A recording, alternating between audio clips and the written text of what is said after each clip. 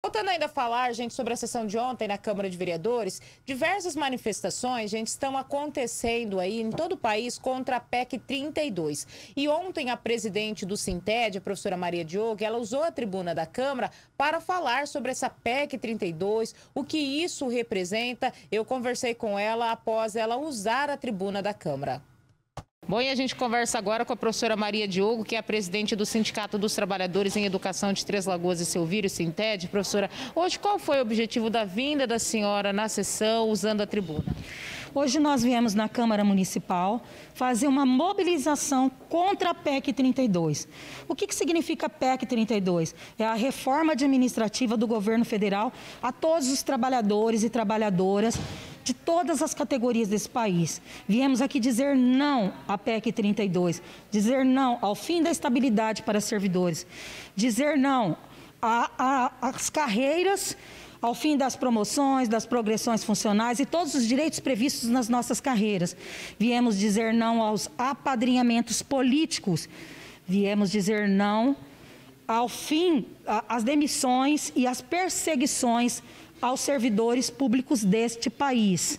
Viemos, sobretudo aqui hoje, fazer uma solicitação para a bancada de Três Lagoas para que mobilize é, o voto da nossa bancada estadual, para que eles votem contra a PEC 32, aí para que de fato a gente possa enterrar essa PEC e manter todos os direitos conquistados historicamente e, sobretudo, tudo que está posto na Constituição de 88.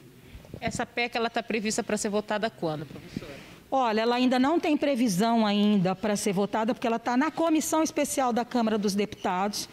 É, no dia 31 de agosto, me parece que saiu um substitutivo, né? mas esse substitutivo também não melhora em nada o projeto inicial da PEC 32. E a nossa luta no dia 2 de outubro, que nós estaremos nas ruas novamente, uma das nossas grandes pautas será contra a PEC 32, né? Dentre outras pautas importantes aí do momento, mas estaremos na rua fazendo mais uma vez esse embate para que a PEC 32 não passe já temos assegurado três ou quatro votos de parlamentares aqui do estado de Mato Grosso do Sul que votarão contra a PEC 32. Essa manifestação tem um, vai acontecer, por exemplo, aqui em Três Lagoas, em Campo Grande? Não, nós não sabemos ainda onde será a manifestação, porque vai ser feita uma Assembleia Geral da FETEMES para decidir se a gente vai fazer a concentração desse movimento nas capitais ou se a gente vai fazer movimentos municipais contra a PEC 32. Aqui em Três Lagoas pode ser que haja um movimento municipal, porque nós temos um grupo onde esse grupo reúne várias entidades sindicais e sociais. Pode ser que a gente faça aqui, mas pode ser também que a gente faça concomitantemente em Campo Grande.